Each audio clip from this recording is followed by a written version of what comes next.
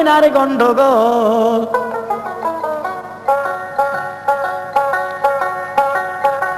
ওই নাম বলিতে মন রে কইর আর ভুল।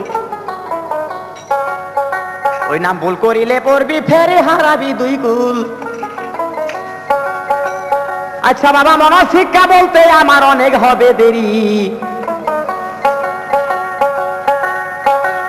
মন দিয়া শুনবেন দর্জন প্রেমের হিস্টোরি সালাম আলাইকুম। আমি বাউল ময়েজ আলী। আপনাদের সামনে একটি গান। আজ উপহার দিচ্ছি, সে গানটি হলো শাহজাহান এবং সাথীর প্রেম কাহিনী।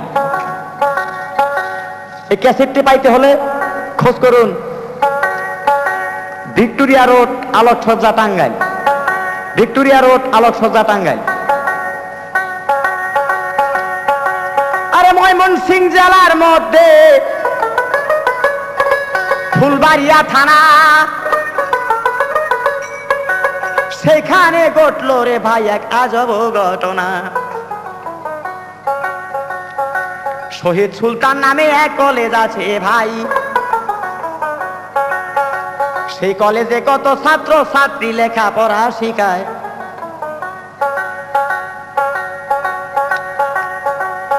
আরে ওই দেশেতেই একটি লোক বড় ধনবান ছিল। হঠাৎ করে তাহার কথায় আমার মনেতে পড়িল। তার চারটা ছেলে একটি মেয়ে সবাতে জানাই।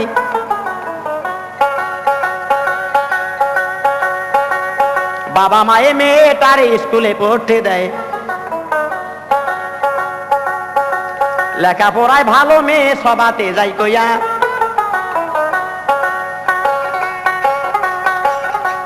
ষোলো বছর বয়স যখন হইল গো, মেয়ে গেল, ম্যাট্রিক পাস করিয়া রে।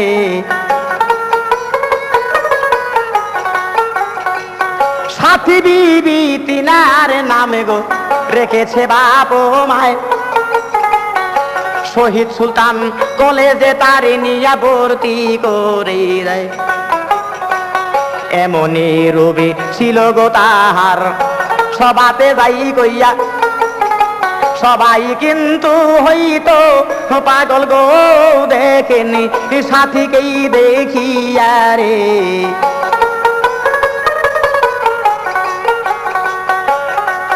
মায়াধারী রূপ ছিল তার। আমি কত যাব মুখে বলে সমস্ত ছেলের টার্গেট শুধু গো বিবাহ। কি করবে ওই সাথী রে গো?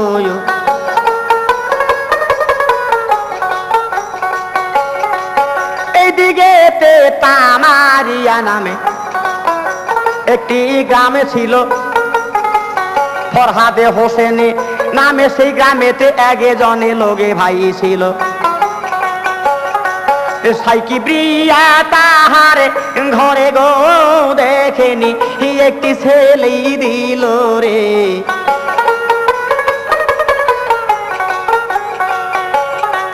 শাহজাহানে তার নাম রাখিল, আসলো সৌদাগরের চেহারা লইয়া।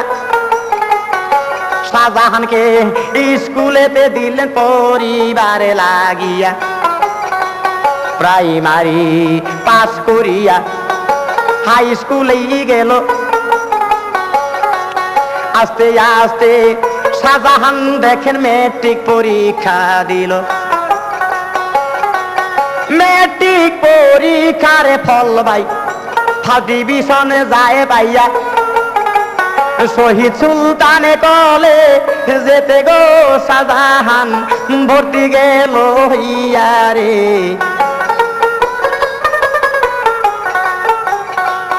শাহজাহানের এমন চেহারা ভাই। সবাতে জানাই, সচরাচর মেয়েরা দেখিলে পাগল হইয়া যায়। কলেজে পড়িতে যায় গো সাধাহান নোংরা পোশাক উড়িয়া রে।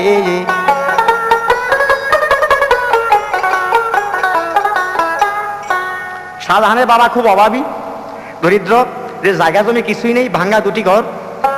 তাই শাহজাহানের বাবা হার ভাঙ্গা পরিশ্রম করে, দিন রুজি কাজ করে, শাহজাহানের লেখাপড়ার খরচ চালাইতেছেন এবং সংসার চালাইতেছেন। অবৈধ সংসার, তাই তো শাহজাহান নোংরা পোশাক লইয়া পড়তেই যায়।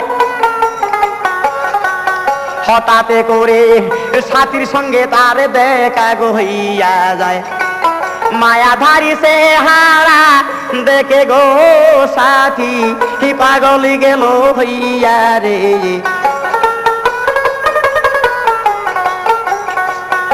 শাহজাহানকে দেখে গো সাথী, শুধুই থাকে চাইয়া। সাথীর অন্তরে নিলেন ছবিটি আঁকিয়া। দিন রজনী সাজা আহানের গো কথাই ভাবে দেই বসিয়া রে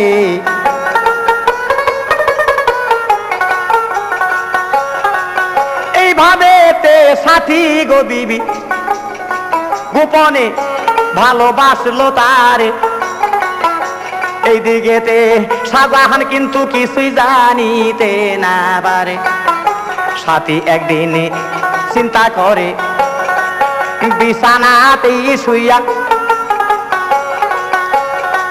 ছুটির পাইয়া বাড়ির দিকে গো শাহজাহান সে রাস্তায় যায় চলিয়া রে।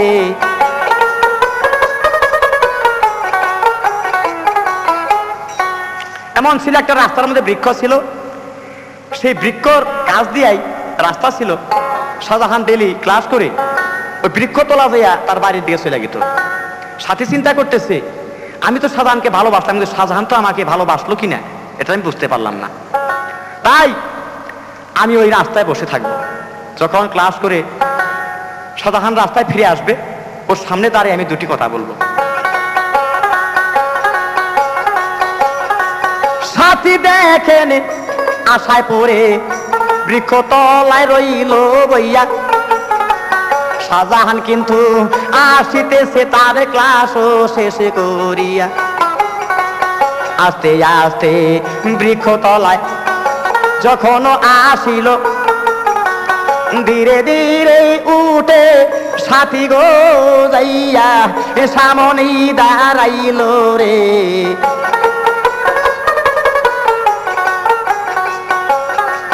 সামনে দাঁড়াইয়া গো যখন শাহজাহানের মুখের দিকে চায়। কোথা হতে যেন লজ্জা এসে গো সাতির চোখে ধরল জরাইয়া রে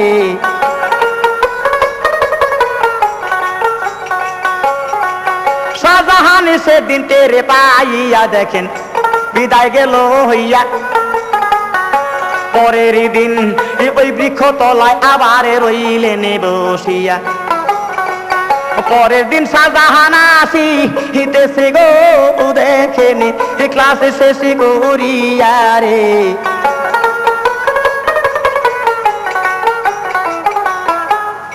সাথী ভাবতেছেন, আমি গতকালকে সামনে দাঁড়ালাম দুটি কথা বলব, কিন্তু কোথাও হতে লজ্জা সে আমার চোখে জড়িয়ে ধরলো, আমি আর কিচ্ছু বলতে পারলাম না।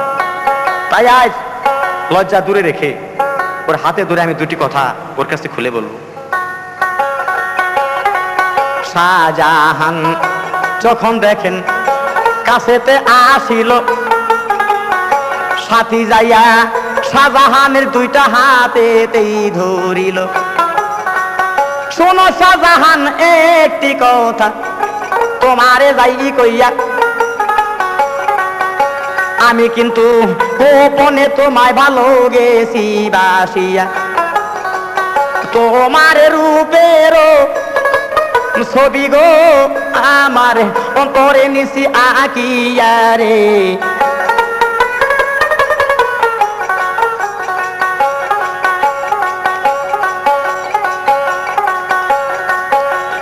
কাছে বলব দুটি কথা তাই, থাকি বৃক্ষ তলায় বইয়া। আমার জীবন, যৌবন দিছি সবই তোমার এই সুবিয়া আমার যাহা কিছু আছে সবই দিব গো তোমাকে, তাই যদি আপন করিয়া রে।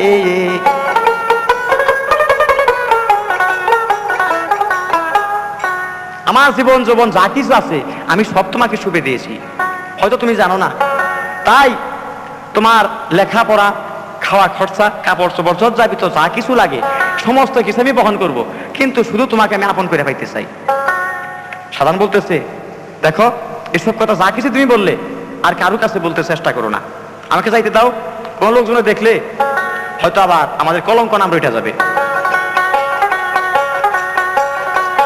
ওই দিন কারও মতো সাজাহান বিদায় হইতেই চায়। শাহজাহান বলে, গরিবের ছেলে আমি জমা জমি তো নাই। কলেজে অনেক ছেলেই আছে গো একটা কেন নেও না বাসিয়া রে?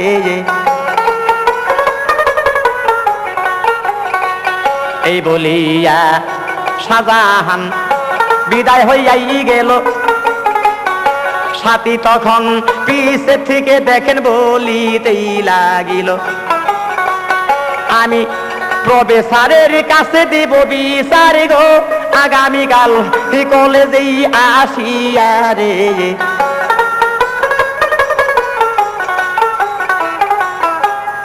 দেখো, যদি তুমি সেটা রাজি না হও, তোমাকে আমি জোর করে রাজি করাতে বাধ্য হব।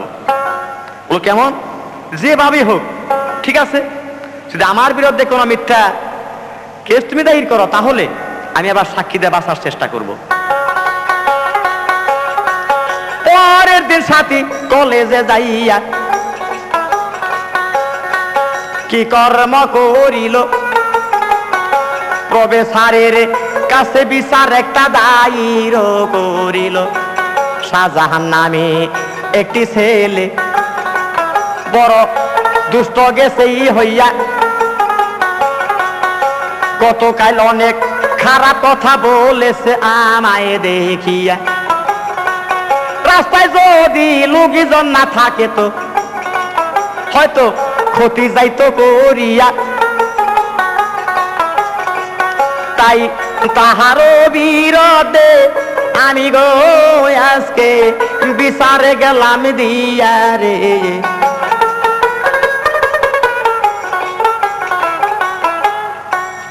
ছেলে কাজ- কালকে সে সমস্ত কথা আমাকে বলেছেন। ইজ্জতের অনেক লাঘব কথাবার্তা বলেছে। হয়তো রাস্তায় কোনো লোকজন না থাকলে আমার কোনো ক্ষতি করতে চেষ্টা করত। তাই নাকি? সাধারণ ছাত্র ভালো? তাই? কথা শুনে টিচাররা আবার ছাত্রকে যেরকম ভালোবাসে ওই রকম ভালো ছাত্র দুষ্টামি করলে তাকে শারীরিক শাস্তিও অনেক বেশি দেয়। চিন্তা করলে স্টেটমেন্ট নিতে গেলে ইজ্জতের ব্যাপারটা ছড়িয়ে পড়বে। তাই সংক্ষেপে ওকে কিছু শারীরিক শাস্তি দিয়া সাহিত্য করে দেওয়া দরকার। শাহজাহানকে দায়িকা প্রবেশার ঘরেতে আনিল। শাহজাহানের কাছে তখন জিজ্ঞাসা করিল, সাথীকে তুমি কি বলেছ গো শাহজাহান? শীঘ্র করেই বলো রে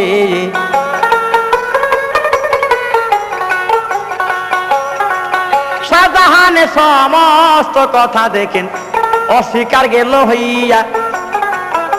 কিছুই তো বলি নাই, হুজুর মিথ্যা গো গেছে কইয়া। এই দিকেতে প্রবেশারে সাহেব ওই দিকে দেখেই চাইয়া, টেবিলের উপরে একটা বেদ গিয়াছে রইয়া।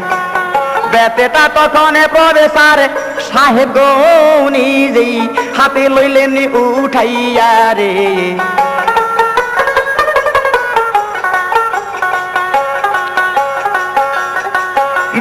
হাতে লইয়া প্রবেশার শাহজাহানের কাছে গেল। লম্বা চুলের মধ্যেই দইরা রে, শাহজাহানের পিঠে মাতেই লাগিল রে।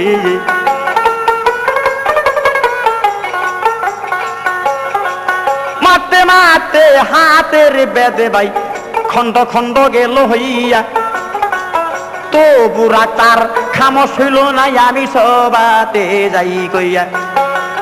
টেবিলের নিচেতে একটা গো সিয়ারের পায়া ছিল পরিয়ারে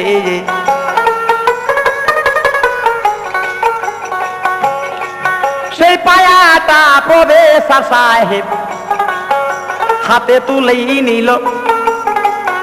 শাহজাহানের বাম হাতের মধ্যে বাড়ি গো মেরেছিল আঘাতে করি বাড়ি, লাইগা গো শাহজাহানের হাতটা যায় ভাঙ্গিয়া রে।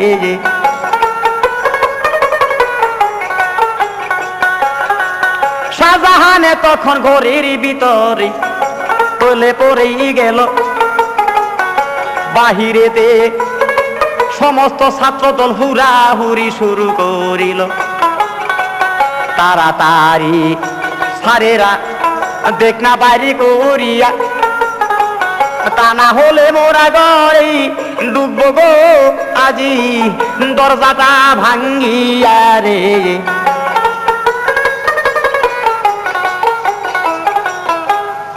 কি ব্যাপার? এরকম সাক্ষী সাবক নেই? বিনা সাক্ষীতে তাকে মারপিট করা শুরু হইল। যাই, যদি এখন স্যাররা ওকে বের করে না দেয়, আমরা দরজা ভেঙে বের করার ব্যবস্থা করব। তখন শাহজাহানকে বাইর করে দেওয়া হলো। মাটি নিয়ে মাথায় পানে দিলে তাকে শোধ করা হইল। কিন্তু তবে স্যার, একটু পর হইয়া তার হাতটা হাতে দেখল, ভাঙলো কিনা, এটা তো বোঝা যাইতেছে না। বলো, ওকে নিয়ে যাও। এক্সো করে দেখো, ওর হাতটা আসলেই ভাঙছে কিনা।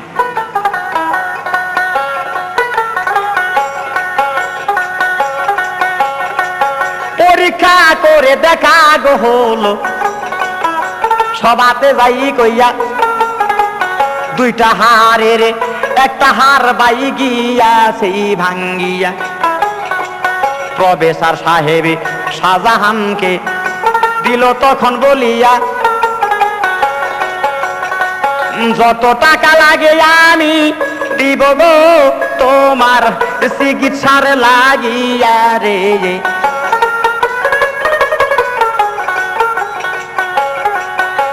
হাতটা প্লাস্টার করে। সাজা হানের চিকিৎসাতেই নামিল। শাহজাহানকে আপনে বাড়ি পৌঁছাইয়াই দিল। বাবা মায়ে কানতে লাগল রে তাহার ছেলেটা দেখিয়া রে।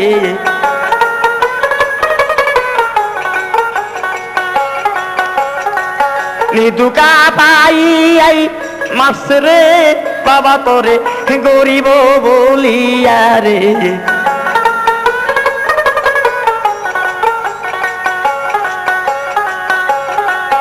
এই দিকেতে সাথী বিবি কি কর্ম করেছিল? শাহজাহানকে ঘরের ভিতরে যখন মারপিটি করিল, কলেজের বারিন্দায় বসে রে সাথী বিবি, কান্দিতেই ছিল রে।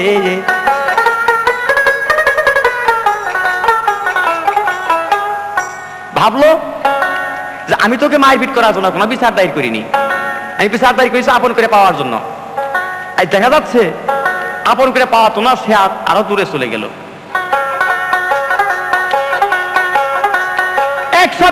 পর শাহজাহান দেখেন। কলেজে আসিল। প্রবেশারের কাছেই তখন বলিতেই লাগিল। আমাকে আপনারা একটা লিখিত দেন দিয়া, এই কলেজে আমি আর পর বোনা ভর্তি হব অন্য কোথাও যাইয়া রে।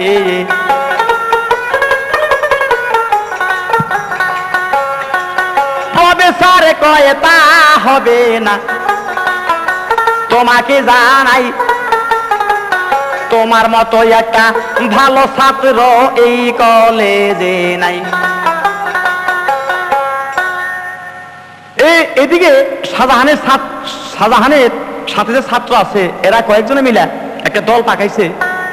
ভাই তুই যদি এখান থেকে গে, আমরাও কয়েকজন চলে যাব অন্য জায়গায় ভর্তি হইব। এখানে তোমার বিশ্রাম নেই।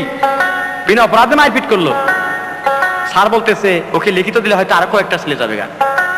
এরকম একটা ছেলে কলেজে না থাকলে কলেজের ক্ষতি। বিরাট একটা ক্ষতি হবে। ও তোমাকে লিখিত দেওয়া হবে না। ও ঠিক আছে স্যার লিখিত নাই দেওয়া হয়, আমার বাবা এখন হাড় ভাঙ্গা পরিশ্রম করে আমার পড়ার খরচ চালাইতে পারতেছে না। তাই আজ থেকে আমার কলেজে পড়া শেষ। আমি আর পরবার আসতে পারব না। এই কলেজে একটা মেয়ে লইয়া কেসি মার পিটি খাইয়া। কেমনে আমি মুগি দেখাবো এই কলেজেই আসিয়া। আই সইতে মোর কলেজেই পরাগো সার বুঝি গেল বন্ধ হইয়া রে।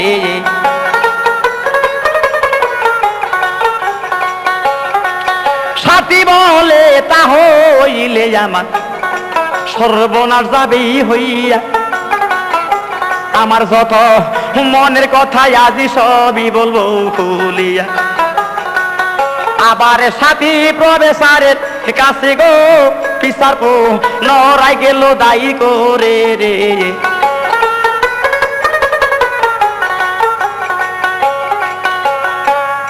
আবার বিচার দায়ী করলেন, স্যার আচ্ছা এমন হইতে পারে না। সাধারণের সঙ্গে আমার বিবাহ হতে পারে না। হয়তো আপনারা জানেন না, আমি ওকে মারপিট করার জন্য বিচার দায়ের করছিলাম না। শুধু ওকে আপন করে পাওয়ার জন্য, আমি যা কিছু করেছি, ওকে আপন করে পাওয়ার জন্য। স্যার শুনে অবাক হয়ে রইল। সর্বনাশ, এই মেয়েটা তো বাড়ি দুষ্ট। মনে করছিল মেয়েটা ভালো, কিন্তু আসলে মেয়েটাই দুষ্ট। মেয়ে সেটা স্বীকার করল, শাহজাহানের কোনো দোষ নেই। আমি বিচার দায়ের করেছিলাম, আপন করে পাওয়ার জন্য, তা তো হলো না। ও নির্দোষ। তবে আমি একটা নালিশ যাইতেছি করিয়া। শাহজাহানকে কোরআনে রাজি একটু যেই বুঝাইয়া। কেমন করে আমি বেশি থাকব গো সারে আজি শাহজাহানকে সারিয়া রে।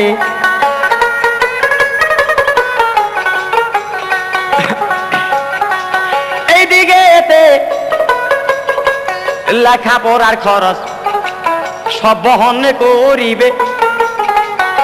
টিচার তখন বলতে লাগিল, শাহজাহানের কাছে।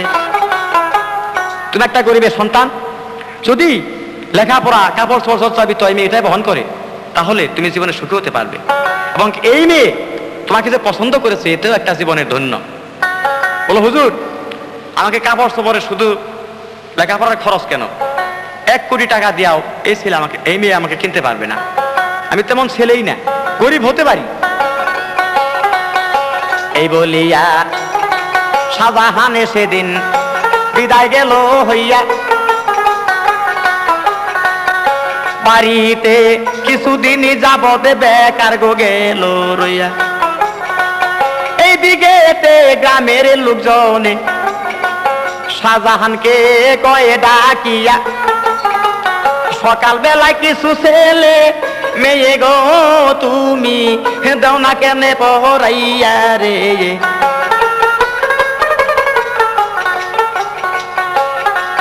কিছু কিছু দিব গো বেতন, মাসের মাসে উঠাইয়া।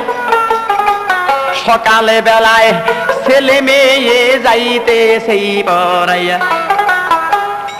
গ্রামের লোকে বলতেছে, তুমি দরিদ্র লোকের সন্তান, তোমার বাবা কামাই রুজি করতে পারো না এখন। আগে যে পরিশ্রম করতে পারতো এখন পারে না। তাই তুমি আমাদের কিছু ছেলে মেয়ে, বাচ্চা বাচ্চা ছেলে মেয়েদের সকাল বিকাল কিছু লেখাপড়া শেখাও।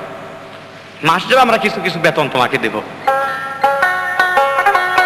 এইভাবে মাসের মাস কিছু কিছু বেতন পায়।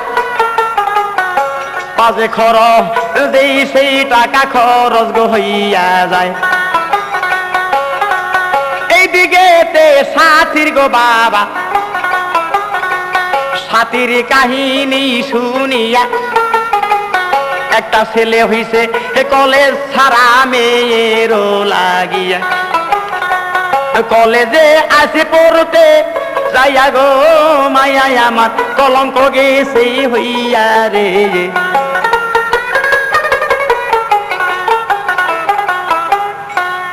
আমার চারটা ছেলে বড় বড় চাকরিজীবী। আমি খুব ধনবান ব্যক্তি। এই মেয়ে কলেজে পড়তে দিয়া আর আমার একটা কলঙ্কিনী নাম জগতে রটে রাখল। রাগ করে মেয়ে কি বলতেছে? তোর যেদিকে ইচ্ছা সেদিকে চলে যা।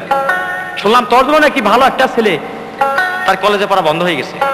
ওই গ্রামে বেলাল হোসেন নামে এক লোক ওই সাথীর সাথেই ওই কলেজে পড়তো।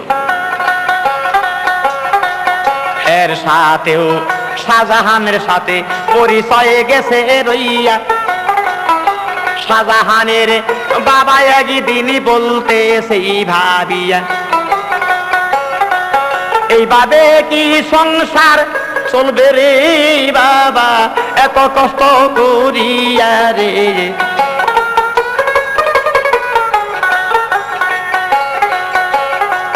চল বাবা, তোরে আমি করাবো একটি বিয়া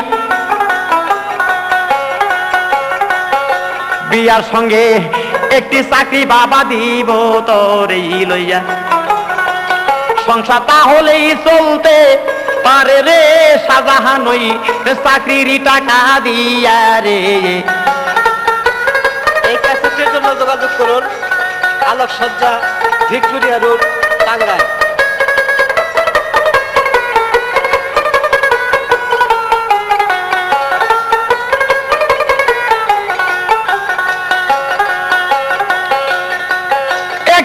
চাকরি লইয়া শাহজাহান আমি বিবাহ করাবো তোমারে।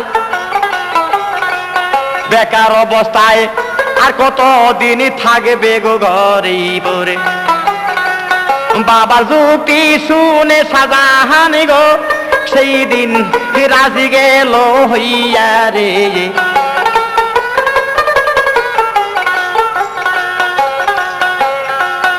এই দিকেতে শাহজাহানের জন্য মেয়ে দেখতে লাগিল।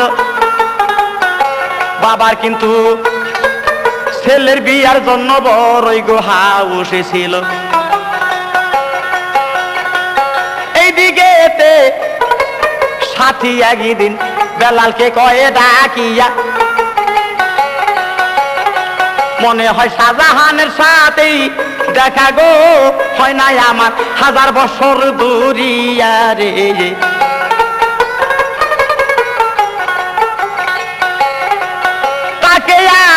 ভালোবাসি। সে কি তা জানি না। আমি পুরি তার প্রেমা গুনে রে বেলাল বাই সে কি পুরে না রে।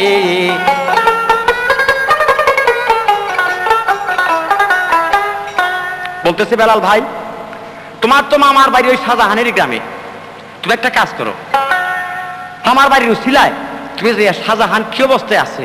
কোন কলেজে পড়তেছে না বেকার অবস্থায় আছে না বিয়ে শাদী করছে? তুমি একটু খোঁজলে আস না বলতে তাতে তোমার কি লাভ লোসকান তোমার তো কিছু আসে যায় না। তবু তুমি একটু যাই না আসো। বেলাল হোসেন পরের দিনই তামারি আই গেল। মামার বাড়ির উসিলাতে দেখে শাহজাহানের বাড়ি গেল। শাহজাহানকে যাইয়া দেখে ভাই একটা চাকরি গেছে পাইয়া সকালে বিকাল কিছু পোলা পানে যাইতে সেই পড়াইয়া। শাহজাহানের সঙ্গে গো তখন আলাপ যায় করিয়া। এইভাবে আর কতদিন চলবে গো শাহজাহান ভাই, করোনা কেন বিয়ারে?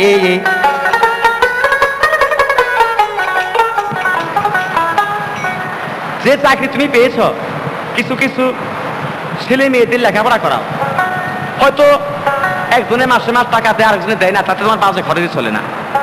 এগুলা বাদ দিয়ে একটা বিয়ে শাদী করে ফেলো। শুক্র একটা ঘর বাইন দিল বলতেছে হ্যাঁ ভাই, তুমি তো ঠিকই বলেছ। বাবা আমাকে বিয়া করানোর জন্য পাগল হয়ে গিয়েছেন। তাই আমার জন্য দেড় দেশে মেয়ে দেখতেছে। কে তুমি দেখো না? যে না, বাবা যখন বর্তমান আছে, সেখানে আমি কেন মেয়ে দেখতে যাব? তাই আমার বাবা আরও আমার গ্রামের দুজন মাতা বোন নিয়ে মেয়ে দেখতেছেন। আমার বাবা যা কিছু আইনা আমাকে দেবে, তাই আমি বধু হিসাবে গ্রহণ করে নেব।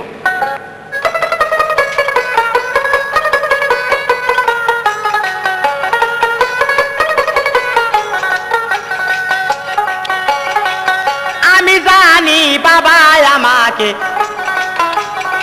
ভালো বিবাহ করাইয়া সুখী আমায় করে দিবে একটা গো চাকরি লইয়া।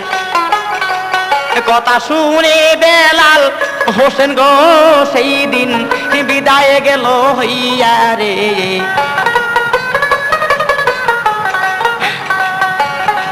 সাথীর কাছে সমস্ত কথা ভাই বলিল খুলিয়া কথা শুনে, সাথী সেদিন গেল রে পাগলে হইয়া। তবে তাহলে ও গো বেলাল ভাই, একটু সাতরিতা করিয়া,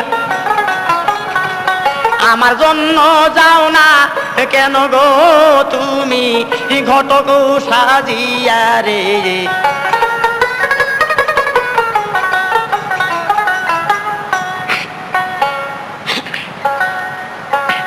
বলতেছে হ্যাঁ তুমি ঠিকই বলেছ।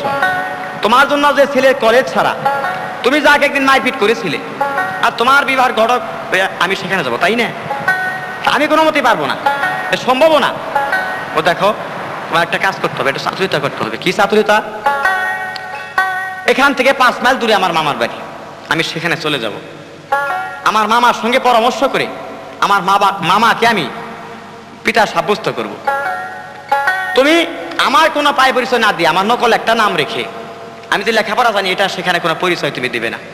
হয়তো জানলেও কোনো রকম নাম দস্তগত তাই আমার মামার বাড়ির থেকে আমাকে দেখানোর ব্যবস্থা করবে।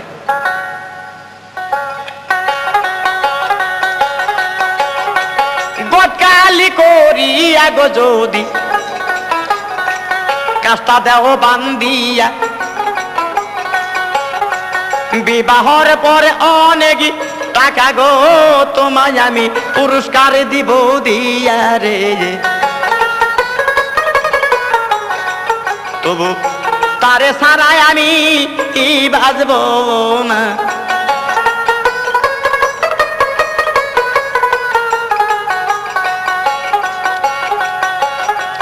বেলাল পরের দিন গেল, বিদায় হইয়া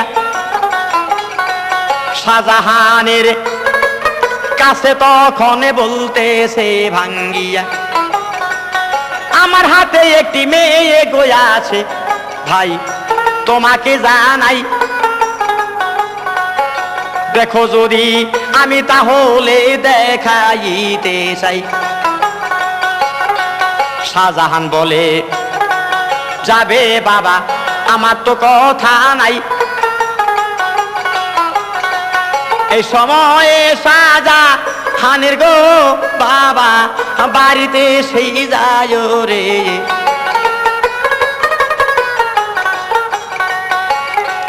শাহজাহানের বাবার কাছে বেলাল বলতে সেই বাঙ্গিয়া, এই মেয়েটার সাথে মামাই একটা চাকরি দিব আমি লইয়া।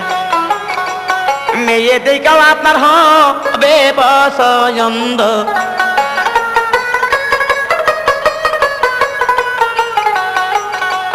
রবিবারের তারিখ করিল। তারিখ করে বেলাল হোসেন আবার ও ফিরিল। সাথীর কাছে বলিতেছে, তোমার মামার বাড়ি যাও চলিয়া। তোমার মামাকে সপরাইয়া রাখো গো সাথী, তুমি নিজেই যাইয়া রে।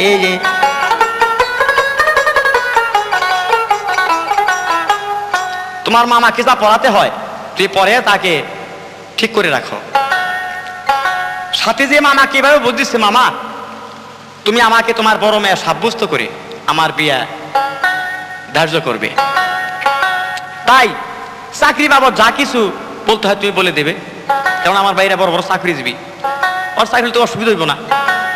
যে চাই চেহারা হয়তো একটা অফিসারের চাকরি পাইতে পারে। তাই তুই কোনোটা অস্বীকার করবে না। রবিবারের দিন বেলালে হোসেন তামারি আই গেল। শাহজাহানের পিতাকে লইয়া বিদায় হইল। শাহজাহানের পিতা গ্রামে থেকে গো, সাথে দুইজন মাতবর গেল লইয়া রে।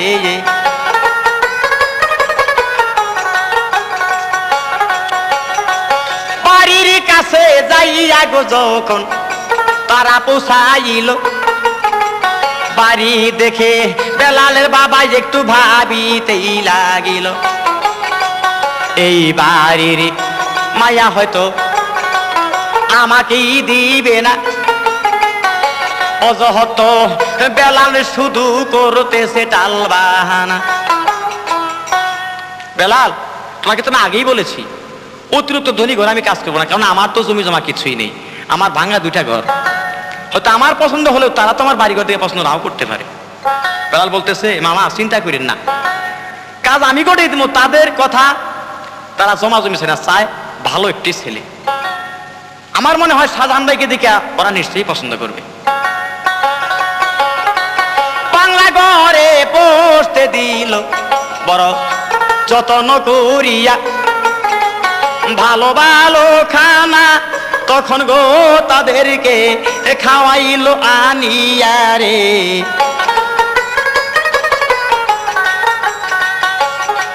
খাওয়া দাওয়া হইয়া গেল ভাই, মেয়েটা আনলো সাজাইয়া।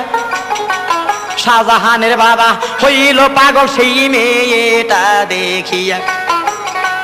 কাজটা তুমি মিলাইয়া দিও রে আমার হি আল্লাহ সাই কি বিরিয়া রে।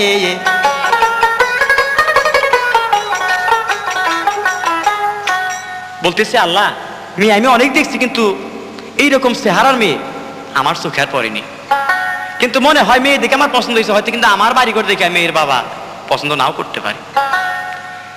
একটু ফাঁকি নিয়ে বলতেছে, বেলাল বলতেছে, মামা, তাহলে মেয়ে দেখে আপনার পছন্দ হয়েছে? যে বাবা তুমি যে মেয়ে মেয়ে আমাকে দেখিয়েছ, মেয়ে যে এতটুক বাড়ো তুমি আমার কাছে এতটুক বলোইনি। কিন্তু মেয়ে দিকে আমি পাগল হয়ে গেছি। আমার এই মেয়ে দিয়া আর আমার ছেলে দেবার সুন্দর মানাবো। মেয়ে কি দিবে? সে কোনো উপায় হোক, এ মেয়েটা নিতেই হবে আমার। বেলাল বলতেছে, মামা, দেয় না দে, সে দায়িত্ব আমার। যাহা কিছু করার আছে মামা, আমি দিব করে আগামী শুক্রবার তারিখ দিয়া এর আগে এলো গভীরায় হয়ে। শুক্রবার দিন মেয়ে পক্ষ গো যাইতেছে, ছেলে দেখিবারে রে।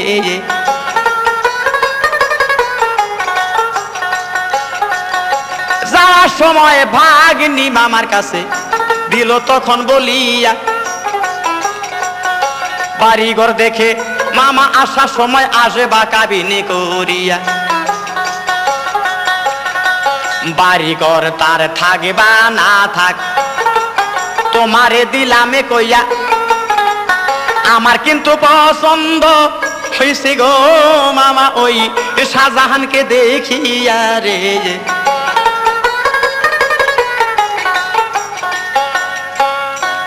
বাড়িঘর দেখার উসিলারা তোমরা খালি শুধু একটু ভাঙবে। কারণ ছেলে তো আমার দেখাই। তোমরা যে অফিসে কাবিন করে চলে আসবে, এবং কি দরকার হলে বিয়ার তারিখও ধার্য করে আসতে পারো। কারণ তোমার এখানে আমার থাকা তো ঝামেলা হইতেছে। মামারা চিন্তায় পড়ছে যে সমস্ত কিছু আমি, আমার বাড়িতে সইতে পারলে আমি ঝামেলার থেকে রেহাই পাই। পরে ঝামেলা আমার ঘরে কেন চাপছে এসে? গরিব হিসাবে ফর হাত হোসেন যাহা খানা যোগাইয়াই ছিল তাহাই খাইয়া শাহজাহানকে তারা যেই দেখিল। ছেলে দেই কাও সাতির মামা গো, সেই দিন গেল পাগল হইয়া রে। এই জন্য তো হয়েছে বা, আগ্নি পায়া গল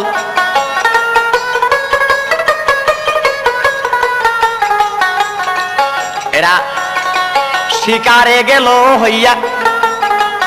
তাড়াতাড়ি চলেন, কাবিন করব মোরা অফিসেতেই যাইয়া। কাবিন করে যাওয়ার সময় গো বিয়া তারিখি গেলেন করিয়া রে।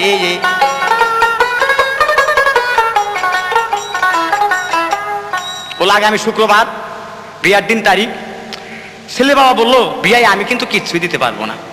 আমি শুধু দিব, ওই মেয়ের নাকে যে একটু স্বর্ণ দেওয়ান লাগে, ওই স্বর্ণটা ছাড়া বিয়া হয় না। বিয়া পড়াইতে সময় নাকের স্বর্ণ ওই স্বর্ণ ঢুকে আমি দেবো। আর তাছাড়া কিচ্ছুই পারব না।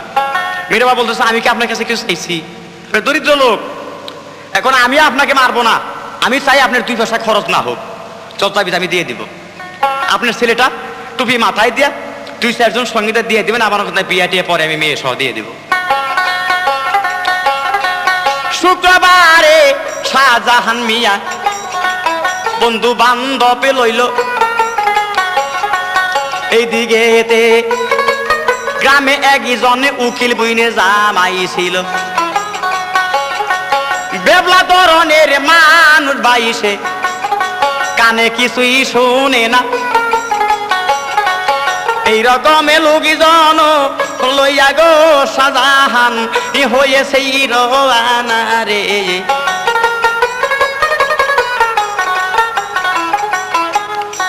এরকম এক উকিল বোনের জামাই লইছে।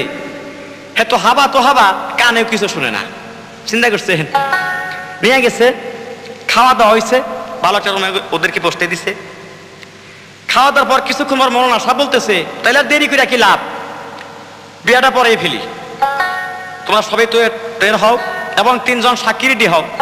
আন্দোলনে যাইয়া কবুল নিয়ে আসো। দুই পক্ষ হইতে গো তিনজন। সাক্ষীধারী হলো কবুলের লা গিয়া তারা দেখেন আন্দরেতেই গেল। এইদিকে তে সাথী বিবি একটা দামি শাড়ি পরিয়া, আলাদা একটা রুমের মধ্যে গো দেখেনি রয়েছেই বসিয়া রে। নানি বুড়িও বসে গয়াছে সাক্ষী গেলেন চলিয়া। একটু পরে কবুলতে দিল, কবুলে করিয়া। কবুল লইয়া সাক্ষী যাইয়া স্বীকারও করিল। সাথীর সাথে শাহজাহানের দেখেন বিবাহ পড়াইল বিবাহর শেষে শাহজাহানকে গো দেখেনি, আন্দরে যাবে লইয়া রে।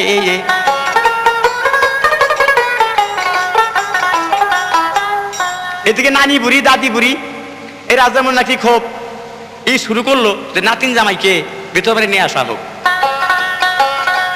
সাথী বিবি যে কোটায় ছিল ভাই, সেখানে গেল লইয়া শাহজাহান একটু দূরে রইলেন বসিয়া সাগরানা খাওয়ার গো জন্য মিষ্টান্ন গেছে লইয়া। এক একজন এক এক দিকে গো সেই দিনই রইলেন ঘুরিয়া রে।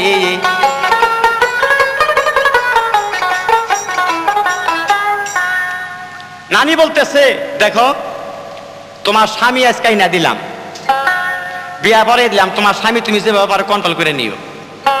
এবারে নানি বুড়ি চলে গেল গা। এদিকে সাজান চিন্তা করতেছে যে দুলাভাই তো হাবা তো হাবা, কানে তো শুনেই নেই। ডাকলে শুনে না। মনে করেন দুই তিনটা সিমটি মারছে তোকে কি ব্যাপার? ইশারা করে আদা এখন যান আপনার দরকার নেই এখন। এদিকে কুপির মধ্যে তৈল নাই।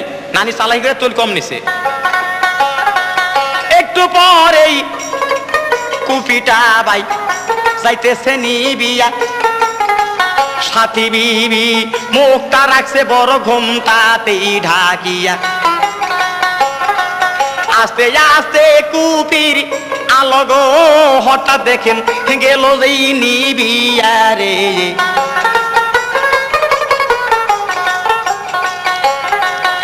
আল্লাহরে তখন আদায় হুকুম আইসা, হাজির হইল তোমাদেরও আদায় কাজ গো তোমরা আদায় করেই নেও রে।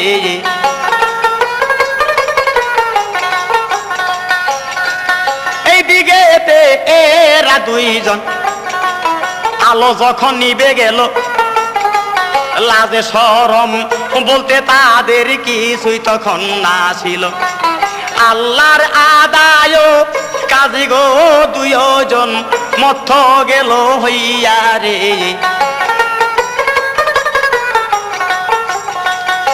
এক ঘণ্টা পরে নানি বুড়ি কুপিতে আগুনি লইয়া ধীরে ধীরে ওই রুমেতে আসিলেন চলিয়া।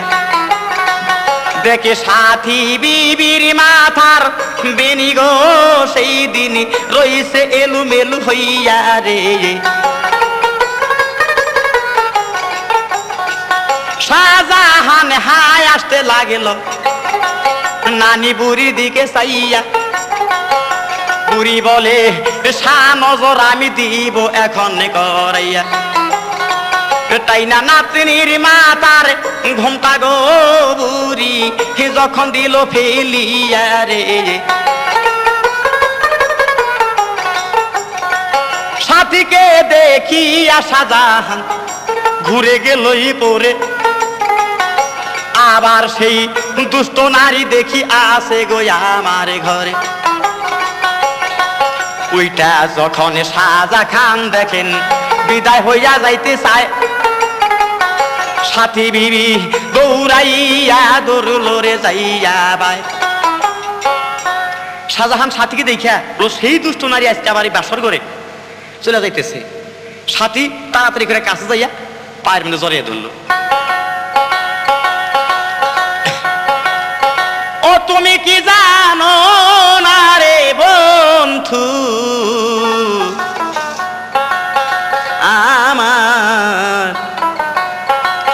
হালে যায় দি।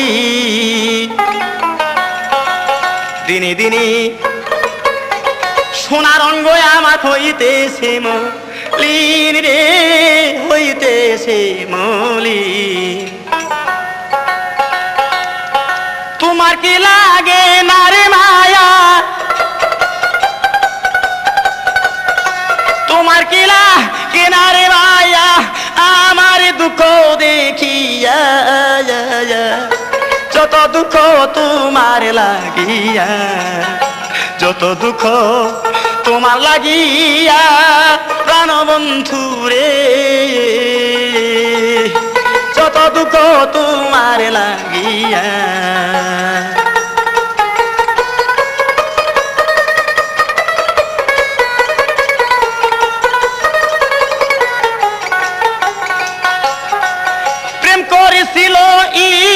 ইউসুফ জুলেখা এই না দুনিয়ায়।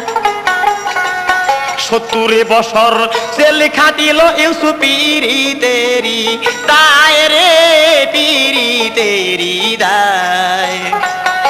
শেষের বেলায় পাইয়া তারে। শেষের বেলায় পাইয়া জুলেখা যৌবনে দিল বিলাইয়া যত দুঃখ তোমার লাগিয়া, যত দুঃখ তোমার লাগিয়া প্রাণবন্ধু রে যত দুঃখ তোমার লাগিয়া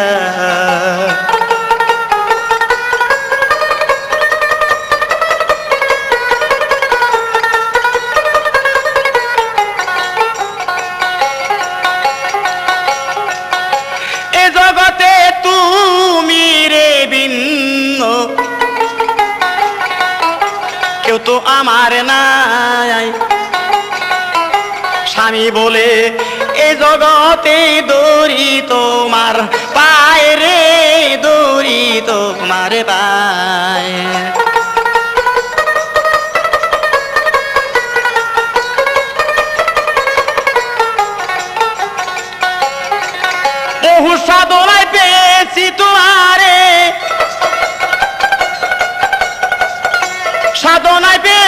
পেয়েছি তোমারে ইজাইও না আসে ফেলিয়া। যত দুঃখ তোমার লাগিয়া, যত দুঃখ তোমার লাগিয়া, প্রাণবন্ধু রে। যত দুঃখ তোমার লাগিয়া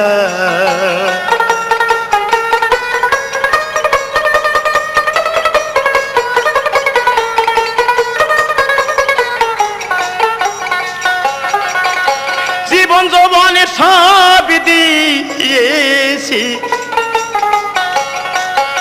তোমার চরণ তলে তুমি আজি না গছিলে আমার সবে যাবে বি ফলে রে, সবে যাবে বি ফলে তুমি আজকে ফেলে গেলে,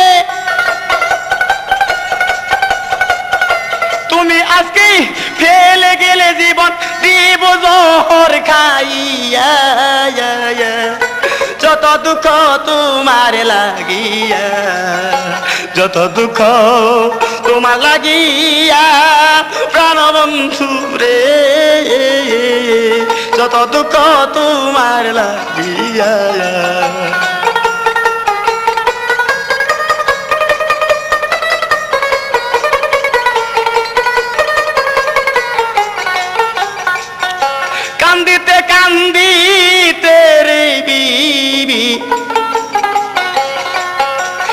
বুক যায় একটা কুঞ্চা এই আইনা রাখি চাল সেই বাসরে সব যায় রে সেই বাসরে সজায় ধীরে ধীরে সেই কুঞ্চার লড়ি ধীরে ধীরে সেই কুঞ্চার লরিটা স্বামীর হাতে দেয় উঠাইয়া ইয়া, ইয়া। যত দুঃখ তোমার লাগিয়া আমার, যত দুঃখ তোমার লাগিয়া প্রাণবন্ধু রে যত দুঃখ তোমার লাগিয়া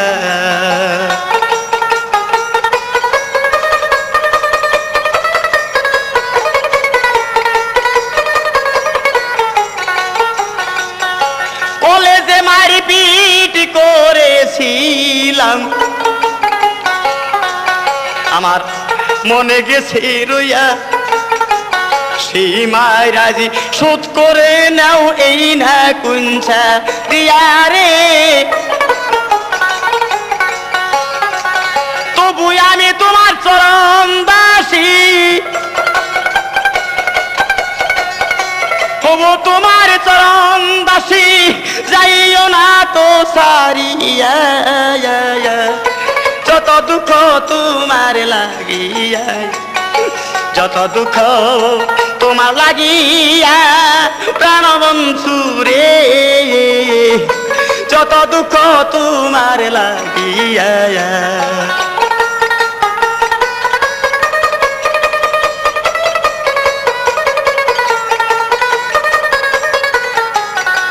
এই ক্যাসেটটির জন্য যোগাযোগ করুন। আলোক সজ্জা ভিক্টোরিয়া রোড, টাঙ্গাইল।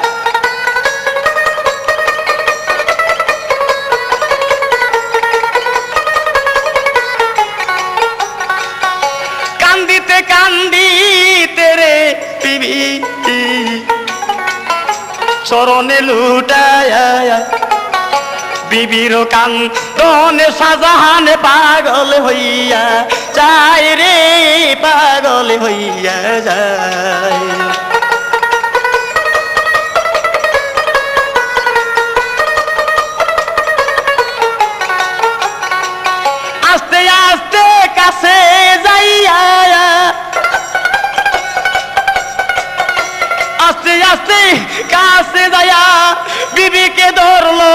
জরাইয়া ইয়া, ইয়া। যত দুঃখ তোমার লাগিয়া শাহজাহান বলে তোমায় বধু বলে আমি নিলাম মানিয়া। যত দুঃখ তোমার লাগিয়া স্বামী শ্রী বুকে বুকে বাবা ধুলো জড়াইয়া বলে আমরা নতুন করে গর লব বান দিয়া রে গর লইব বান্দিয়া পরের দিন মেয়ের বাবা আসিল খবর পাইয়া ইয়া, ইয়া। যত দুঃখ তোমার লাগিয়া মেয়ের বাবা বলতেছে তখন জামার কাছেই যাইয়া তোমার ঘর, বাড়ি জামাই আমি সবই দিব করিয়া রে, সবই দিব করিয়া এই পর্যন্ত সাধারণ সাদির। পর্যন্ত শাহজাহান সাথীর হিস্টোরি গেল ফুরাইয়া, এ যত দুঃখ তোমার লাগিয়া। যত দুঃখ তোমার লাগিয়া প্রাণ বন্ধু রে যত দুঃখ তোমার লাগিয়া।